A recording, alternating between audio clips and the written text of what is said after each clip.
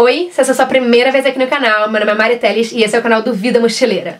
Bom, esse vai ser um vídeo tete a tete, conversinha, reflexão mochileira. Eu quero compartilhar com vocês como que foi pedir a demissão e por que que eu tomei essa decisão é, de pedir demissão na empresa que eu trabalhava em Londres como social media manager, né, gerente de mídias sociais. E a primeira coisa é que foi muito difícil tomar essa decisão, porque foi a primeira vez em sete anos morando na Inglaterra que eu consegui voltar para minha área de formação. Eu sou formada em publicidade e desde que eu cheguei na Inglaterra eu nunca tinha tido a oportunidade, né, de trabalhar na minha área. Então, por seis anos e meio eu fui garçonete, barista, bartender, chefe de cozinha, babá, cuidadora de idosos, mas nunca tinha tido a oportunidade de trabalhar com publicidade. E depois de tanto tempo, né, sem estar na minha área de formação, eu finalmente consegui entrar, voltar para minha área. E foi em 2022 que eu consegui fazer isso. Eu tô na Inglaterra desde 2015. E, cara, passar na entrevista foi uma, uma, conquista muito grande. Porque a entrevista foi toda em inglês, mas também porque eu tinha que mostrar os meus conhecimentos na área de publicidade, na área de criação de conteúdo, depois de tanto tempo estando fora daquela área de formação. Mas é claro que o Vida Mochileira sempre manteve o meu link com esse tipo de conteúdo, né? É, tanto como criadora de conteúdo, como também com publicidade, porque fazer o Vida Mochileira acontecer envolve muito planejamento, estratégia e tem ali muita coisa do que eu aprendi na faculdade. Mas era a única coisa assim que eu tinha é, relacionada à minha área de formação para falar na, na entrevista, né? Nesses seis anos. É claro que eu tinha, já tive experiências no Brasil como publicitária. No Brasil, assim que eu me formei no técnico de publicidade, eu já estava trabalhando na área, mas aqui na Inglaterra eu nunca tinha tido essa oportunidade. Então foi. Cara, eu acho que o dia mais feliz da minha vida assim foi quando o, o dono da empresa falou: Olha, a vaga é sua, você pode começar quando? Meu coração parou, tipo, passou um filme na minha cabeça é, de tipo, de tudo que eu passei pra estar, tá, né, ali, naquele momento. E assim, não me entendo mal, eu amava ser garçonete, eu gostava muito, mas eu sentia que as minhas habilidades, o meu conhecimento, eu não estava conseguindo exercer nos restaurantes. Então eu queria trazer um pouco mais dessa minha criatividade pro que eu tava fazendo, né? E como garçonete eu não conseguia, a não ser nas conversas que eu fazia ou nas, nas ideias que eu tinha ali pra, pro atendimento, né? Mas não era muito a ver com publicidade. E aí eu comecei nessa empresa em fevereiro de 2022 e fiquei até julho de 2022. Eu pedi a minha demissão em junho e tive que fazer aquele aviso prévio de 30 dias, né? É, para deixar a empresa no dia 8 de julho de 2022. E a decisão não foi fácil, porque pela primeira vez eu tava num emprego que era na minha área, tava num emprego que era home office, tava num emprego que me pagava bem e tinha aquela estabilidade. Mas ao mesmo tempo que o emprego me dava tudo isso, né, de benefício, principalmente a questão do dinheiro e da estabilidade, é, ele também me dava muitas outras coisas que para mim eu avaliei como negativas. Então, era um trabalho de gerenciamento de redes sociais numa empresa que era de PR, né, relações públicas. Então é uma empresa que tá o tempo todo funcionando, tipo, tem vezes que o meu chefe, o meu antigo chefe, ele tinha que né, pagar fogo ali três da manhã, quatro da manhã, porque os clientes eram internacionais. Então, na Inglaterra podia ser madrugada, mas na Índia não era, por exemplo, no Brasil não era, tinha clientes no Brasil. Então, tipo, era uma empresa que estava o tempo todo funcionando. Apesar do meu cliente ser dos Estados Unidos, é, ainda assim era uma empresa que estava todo mundo ligado no 220 o tempo todo. E eu amo esse tipo de, de energia, né? Todo mundo, tipo, animado e tal. Só que eu também amo o fato de eu ter um equilíbrio entre a minha vida pessoal e a minha vida profissional.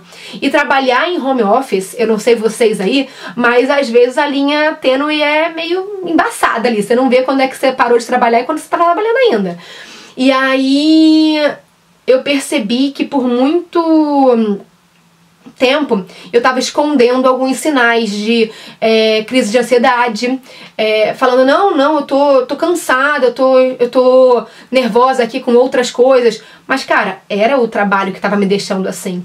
Então, tive crise de ansiedade, tive crise de pânico, é, o meu coração às vezes disparava muito rápido e eu começava a tremer. É, o celular, quando o celular vibrava, é, eu já começava a meio que passar mal. Porque eu sabia que ia ser a minha chefe é, vindo cobrar alguma coisa, ou vindo falar de alguma coisa. É, que, cara, poderia esperar a hora do meu trabalho, sabe? Poderia esperar às nove da manhã, mas não. Sete da manhã eu já tinha mensagem dela, final de semana eu tinha mensagem. E duas da manhã eu já recebi mensagem. Então eu falei, cara, o que, que tá acontecendo, sabe? Eu não quero viver pro trabalho. E hum, eu, isso desde que eu fui publicitária em agência, eu já tinha tido a experiência de ser workaholic e perceber que aquilo para minha saúde não era legal. E aí quando eu entrei no mesmo ciclo, né, de priorizar o trabalho em detrimento à minha saúde, à minha família, aos meus amigos, eu falei, cara, eu não quero viver nesse mundo de novo. Eu não quero. Só que é claro que a, a questão do dinheiro, a questão da estabilidade sempre pegava. E até que eu cheguei em um ponto que tava falando com a minha terapeuta e eu falei assim, cara, eu vou ver se eu consigo segurar um pouco mais. Ela, mas a custo de quê? Você tá segurando já faz cinco meses, Mari. Você, tipo, você. Eu trabalhei lá por cinco meses, mas, tipo, no primeiro mês eu já tava falando, cara, esse. Esse trabalho é insano. eu tô num nível de estresse muito grande. E. E.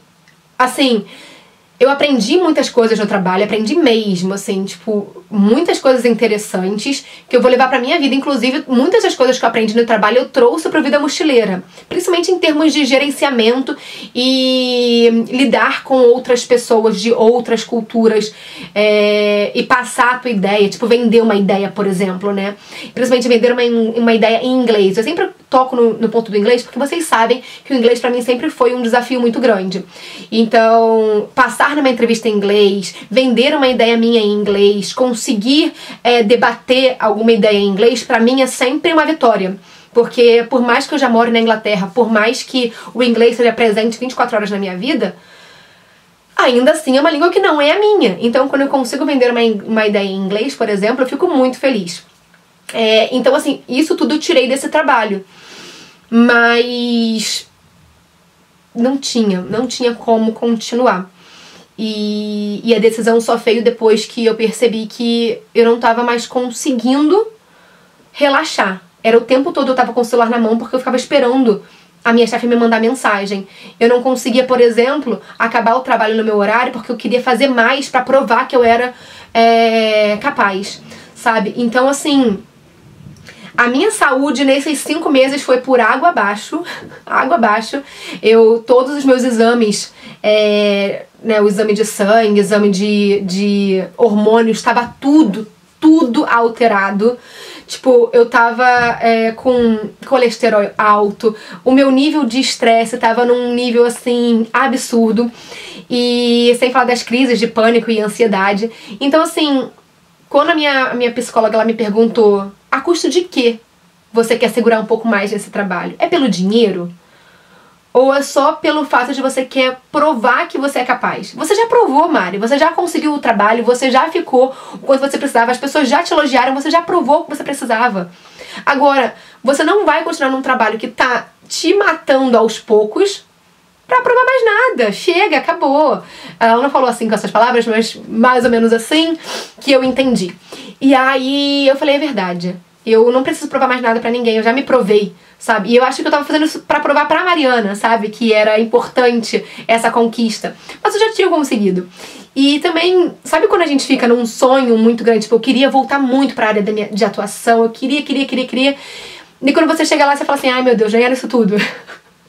Foi o que aconteceu comigo, sabe? Então.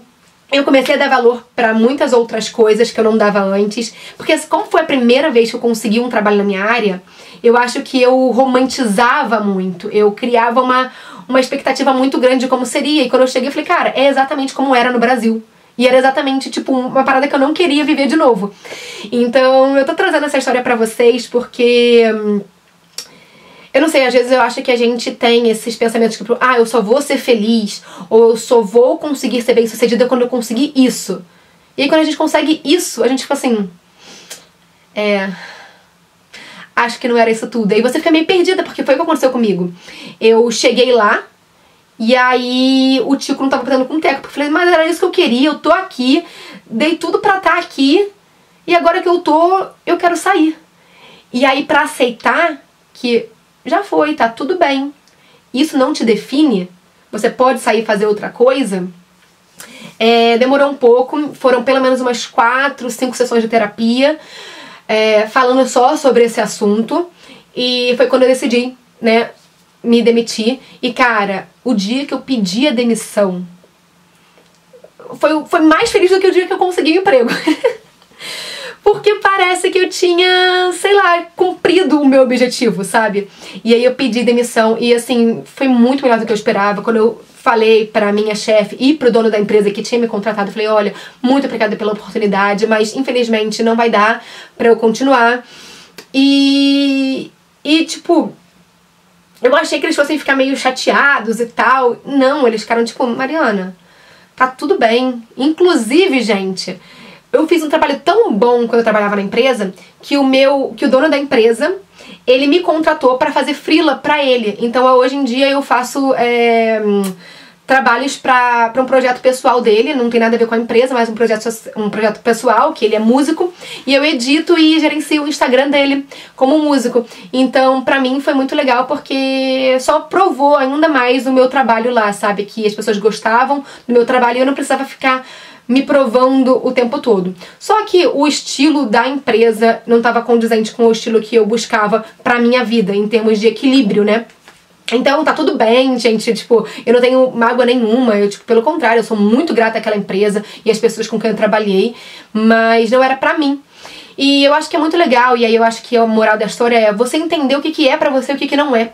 E se não for para você, tá tudo bem você falar, não é para mim. Obrigada, agradeço, gratidão.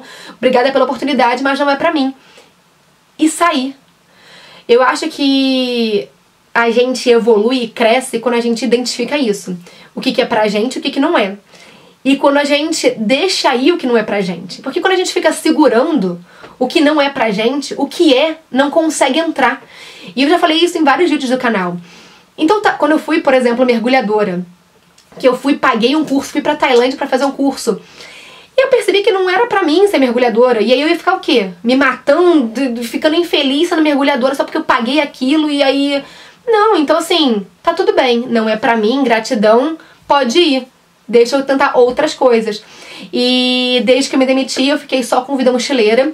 E tá indo super bem, assim, eu tô muito feliz, tá tudo indo assim como eu imaginava, sabe? Então foi muito bom ter tido essa experiência e ter visto como era chegar lá e ter falado: ah, tudo bem. Eu cheguei lá, mas não era isso. E agora eu vou por outro caminho. E eu acho que é isso, assim, a gente não desistir dos nossos sonhos, fazer com que eles aconteçam. E se eles acontecerem e não forem aquilo que a gente imaginou, tá tudo bem, deixa eles irem e segue um outro caminho e tenta um outro caminho. Eu acho que a vida é feita de possibilidades. Toda vez que a gente escolhe um caminho, muitas possibilidades acontecem. E a gente fala assim: não, esse caminho não é pra mim. A gente escolhe outro caminho, outras muitas possibilidades acontecem também. Então, é isso que eu queria falar para vocês: que vocês é, não tenham medo de dizer não para uma coisa que vocês queriam muito. Mas que às vezes não faz mais sentido. Às vezes vocês queriam muito lá. No... Por exemplo, eu queria muito isso há seis anos atrás. E eu fiquei perseguindo esse esse sonho que era meu há seis anos atrás até agora. Talvez nesse meio do caminho já não era nem mais meu sonho, mas eu fiquei agarrada tanto naquele sonho da Mariana de seis anos atrás que eu nem percebi que a Mariana do presente não queria mais aquilo, sabe? Mas aí tudo bem, eu fiz o que a Mariana de seis anos atrás queria, consegui fazer aquilo e falei, amiga, não é mais isso. Vamos aqui juntar, né, os nossos as nossas prioridades do momento presente e fazer a nossa vida ser melhor. Então, eu acho que é isso, assim, é, é entender se os seus sonhos do passado ainda são condizentes com os sonhos do presente. E se forem, beleza, segue. E mesmo que você esteja preso a algum sonho do passado para provar que você consegue fazer, tá tudo bem também. Eu acho que isso é muito importante, a gente provar que a gente é capaz. E eu só queria falar assim que vocês sabem, o inglês mudou a minha vida E esse fato de eu ter conseguido fazer essa entrevista em inglês e ter conseguido passar, para mim abriu muitos caminhos, porque me mostrou o quanto que eu sou capaz em muitas outras coisas. É... E aí me deu um pouco mais de gás, sabe, para fazer outras coisas que não tem nada a ver com, com a entrevista, não tem nada a ver com essa empresa, mas só o fato de ter conseguido aquela conquista ali me permitiu acreditar mais em mim. Então, eu tenho um vídeo aqui falando sobre autossabotagem, é, sobre a, a síndrome da impostora, né? E eu gostaria muito que vocês assistissem esse vídeo, porque eu acho que é um vídeo que fala muito sobre isso. E até fala sobre essa questão do meu processo de conseguir passar nessa entrevista. Então é isso, eu espero que vocês tenham gostado do vídeo. É, foi um vídeo aqui, como a gente sempre faz, né, aqui no canal, é, falando assim sobre reflexões, trazendo um pouco das minhas, das minhas terapias. E quem sabe eu não posso ajudar uma ou duas pessoas a se inspirarem já é o suficiente. Se você gostou desse vídeo, indique pros amigos, deixa seu like, seu comentário, se inscreve no canal, me segue lá no arroba Vida Mochileira no Instagram e também segue o meu blog que é o vidamochileira.com.br porque eu tô sempre postando lá dicas de viagem. É isso, a gente se vê no próximo vídeo. Tchau, tchau!